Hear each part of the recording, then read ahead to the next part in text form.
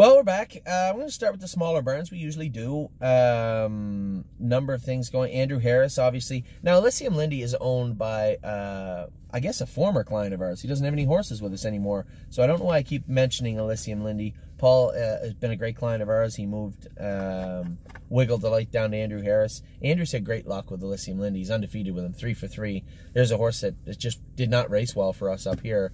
Um, you know, and, and as I said to somebody the other day, you know, not everybody gets along with every horse, and everybody has their limitations.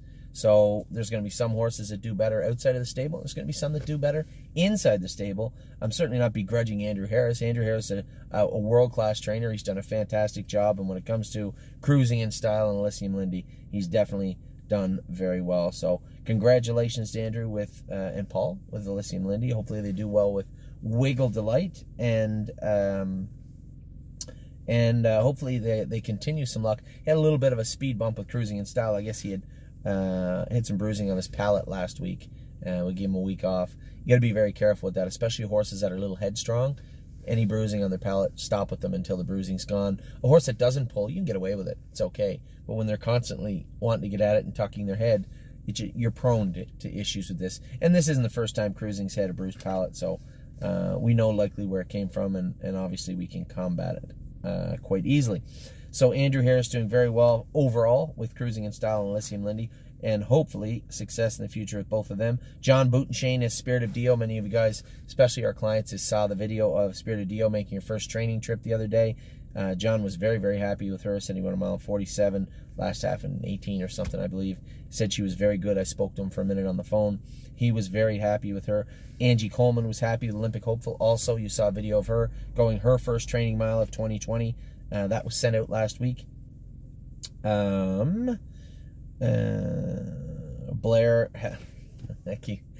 I didn't talk to Blair when I was gone. I apologize. But um, Blair has mentioned that he's going to continue to push forward with Heavenly Skies.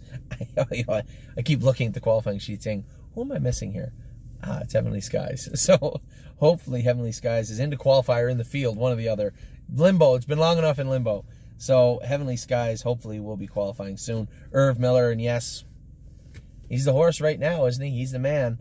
Uh, yes, has had an incredible run in New York. Four wins and a third in his last five. Was actually seven to five, second, very close to being the favorite.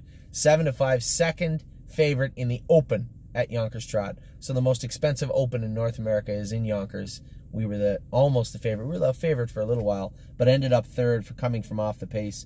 Versatile, obviously showed his versatility. This horse has won on the front, has raced well from behind. Just been an absolute breath of fresh air. And I, I have to say it. When you ask me the best horse we've ever had, yes doesn't pop into my head. But he should, shouldn't he? I don't know that we've had a better horse. Yeah, I like Lawmaker. He raced in the Hambletonian eliminations, but we didn't get to see him as a four-year-old, right? White Tiger kind of flounders as a three-year-old. He's got a long way to go to catch up to Yes. Yes is just an incredible animal right now. Very impressed with him, impressed with the way that Erv has managed him, and just, I guess, probably the best horse we've ever had. Yes is just a, a really, really nice horse. Uh, Oso Pine, Carmen Auciello has him. He got screwed up last week. He ended up getting parked to the half. I was very frustrated over the whole race. But Oso Pine showed he was durable, beat two lengths. He's in to go tonight, and I hope he does very well. Um, really Blue Chip and Arctic Force both trained in 39, I assume together. It's highly unlikely he went in 39 exactly with both of them. Said they both trained very, very well. Uh, Doug Brown. And here's a guy, Doug, and I said this last time, taking pictures, you know, making videos, so for the people out there that say they can't, you know, and, and take nothing away from Doug, but Doug is not a, a young man, right? You don't see Doug Brown on Twitter and Facebook all the time. He's not a very technical, savvy person. Neither am I.